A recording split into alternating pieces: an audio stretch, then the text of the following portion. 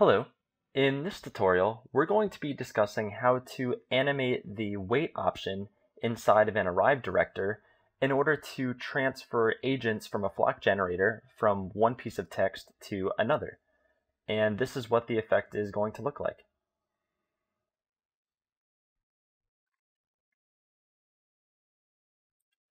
Okay, so here we are in Modeler, and I went ahead and modeled all the objects. I'm not going to go through that part. But we have some berries.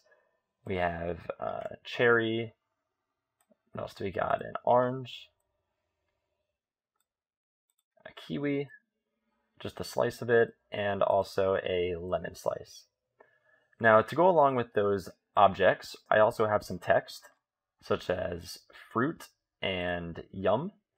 Now what's going to happen is we're going to take those objects and we're going to instance them a bunch of times and have them first flock to the fruit piece of text and then transfer from the fruit piece of text to the yum text. If I switch to textured wired view, you'll see that the fruit text and yum are both subdivided pretty heavily. That's so that the agents from the generator will have more places to stick to once they flock to it. So let's jump into layout and get this effect going.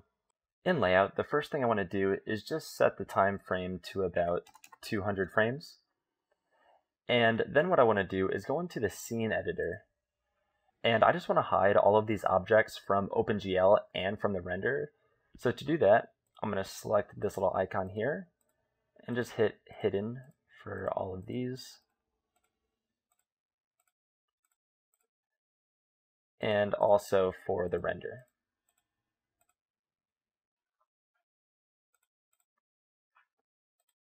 Now what we can do is under objects here, you can see we can still select all of them. Because we don't want the original objects of these positioned at 0, 0 to show up in the render, and we don't want them to get in the way in OpenGL, we only want the instances to appear. So that's why I just hid them from OpenGL and from the render. Now the first thing to do is add a flock generator to the scene. So I'm just going to go to Windows, Flocking, and let's add a new generator. You'll see we have one right there. Let's open up the properties and change a few of the settings. First, I want to move it away from the 0, 0 origin. For the count on the X, I'm going to make it 150. On the Y, I'm going to keep it as the default 3, and same for the Z, 3. For the size, let's make it 10 meters on the X, and Let's keep y the same, and for z, let's make that 2 meters. Okay, so now if we hit calculate, you'll see that all of our agents have appeared that we are going to attach our instances to. Under the Agents tab, there's also a few settings that I want to change in here. Basically, I want to set all the ranges to be 0, and this will ensure that the agents stick directly to the piece of text and they're not going to move once they get to it. Now I'm going to go into the fruit text layer. And under the properties, I'm going to add a flock director. And we want the type to be arrive. For this range, zero, arrival radius, I'm going to set that to zero as well, just to really make sure that these agents stick to the text. Decelerate radius, I'm going to set that to 1, and weight and strength is fine for now. So if I go ahead and hit calculate, you'll see that we already have our first part of the effect pretty much completed. Let's take a look at that. All right, so that's pretty cool already.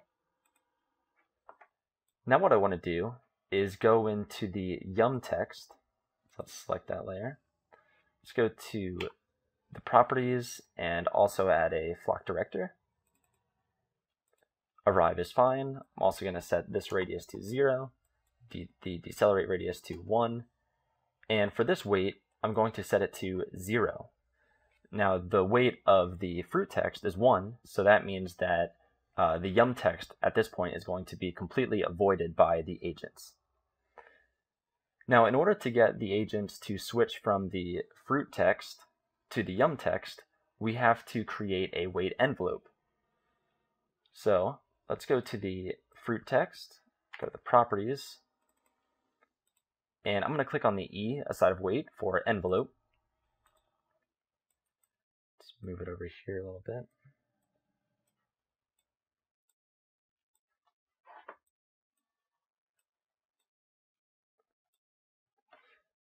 So I'm going to create an envelope that takes this setting from a value of 1 to 0, and then I'm going to copy this envelope, paste it into the weight option of the yum text, and just invert the keys.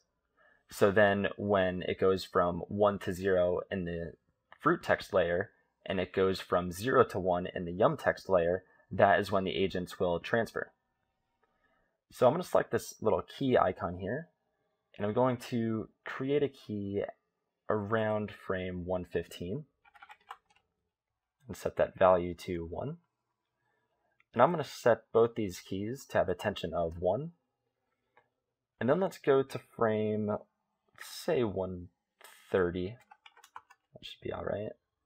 And also set that tension to 1. Give it a bit of ease in, ease out. Let's right click and copy this envelope and under the yum text, put up the properties, and let's paste it. The difference here is I'm going to select these keys and set them to 0 and keep that at a value of 1. Uh, I'm going to go back into the, the envelope of the fruit text because I think I saw an error. Yes, we want to make sure that that key is exactly zero. Okay. So let's calculate this.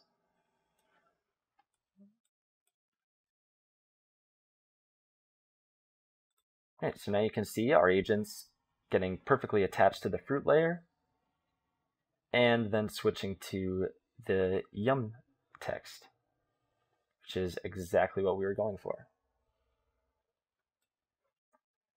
So now it's time to take all of our pieces of uh, fruit and stick them to those agents as instances. So I'm going to select the flock generator and under properties, I'm going to go to the instancer tab. Let's add an instance generator. And let's go ahead and just add all of our objects to it. So let's add the cherry, let's add the berries, the orange, kiwi, and the lemon. Now, all the weight right now is at 100%, and we don't want that to be the case. We want to vary it. Maybe we want more cherries than we do berries, or um, less oranges because they're bigger. So let's go ahead and sort that out first. For cherry, I'm going to set the weight to eh, about 20%. And I've done this before, so I do know what settings are um, necessary for this.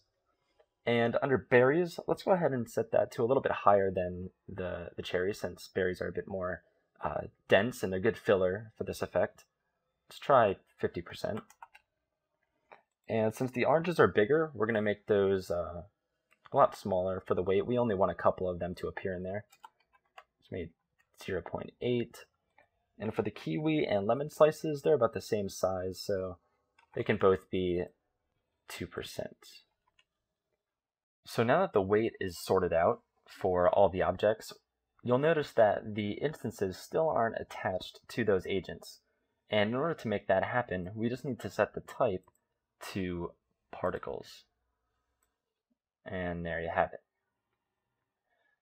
So you'll notice that at the moment, if we switch to VPR, they're pretty big. I mean, the oranges are taking over everything. So let's go ahead and adjust the scale for some of these. For the cherry, and we're going to keep it all on random just to make sure that you know there's a bit more variance. Uh, I'm going to go ahead and set the minimum to 50 and the max to 60. And for the berries, about the same, maybe 55%, 60%. And for the orange, since those are one of the bigger objects, we're going to go ahead and set that to maybe 25 and 30. And you'll notice in OpenGL, we can see the objects shrinking over there. For the kiwi and the lemon slice, those are going to be about 20, 25. So just slight variance on those. And let's open up the properties for the generator and we'll calculate this. So let's switch to VPR. And let's go to the backdrop color by hitting Control F5. And I'm going to right click on this square and let's just slide it up to have a white background. And also in the render globals, let's go ahead and just turn on the default settings for global illumination. There we go. So already you can see that that looks pretty cool. Everything's looking nice. Let's go to the camera view. Okay, but one thing you'll notice is that everything looks very uniform, except for the scale, which we altered, but all the objects are rotated exactly the same. There's no variance in that. So let's go ahead and, and switch that up. Under the Properties, Instancing tab, let's open up that generator. And we're going to go to the Rotation tab for all of these and just play with the minimum and maximum settings. So for cherries, um, they're smaller, so we won't notice these too much, but I'd like to start out by setting the minimum heading and the minimum bank to negative 90, and then I set the maximum heading and the maximum bank to positive 90. So we see some of the, the stems coming through. Let me set the pitch to negative 90 as well. Okay. And for berries, let's do the same. We can actually just drag the slider, play with these a little bit.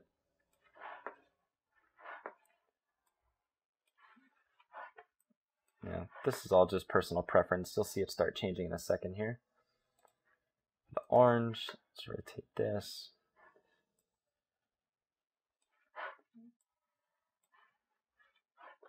I always like to stick with negative values in the minimum settings and positive values in the maximum settings.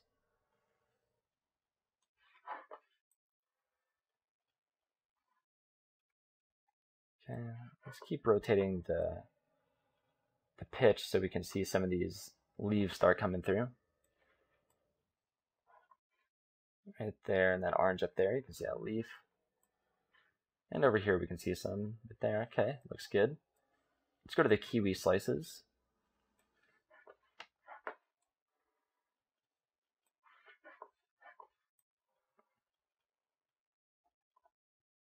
Okay do negative 90, just do positive 90.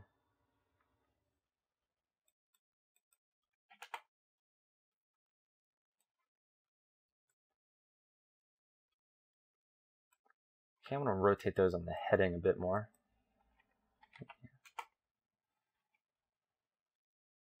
Okay, so that looks cool.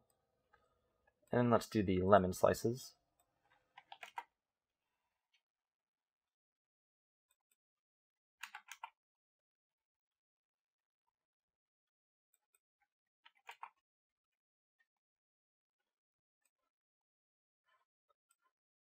Set that to negative 40.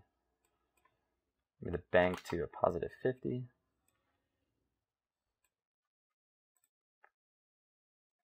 Okay. So for our camera, let's zoom that in a little bit. Bring it over here.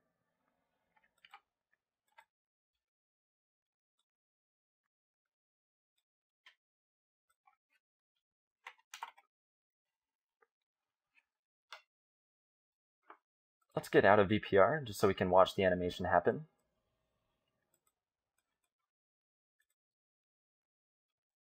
They flock in, they all stick to fruit. And then they switch to yum. So, very cool. Let's check out VPR during the yum text. So you can see with um, pretty simplistic objects and just a bit of render settings, just turn on the default settings for GI and it, looks great. Um, make sure to set the backdrop color to white so the environment's a bit brighter. And that looks pretty cool. Right, definitely happy with how this turned out, and I hope you guys learned a lot. You can take it to um, other things like flocks of birds landing on a tree branch or bats, or you could even do um, other graphics for maybe sports companies, just model a bunch of different baseball items or football items or um, extreme sports. But uh, just have fun with it and post your work online. I'd like to see what you guys come up with, and I'll see you in the next one.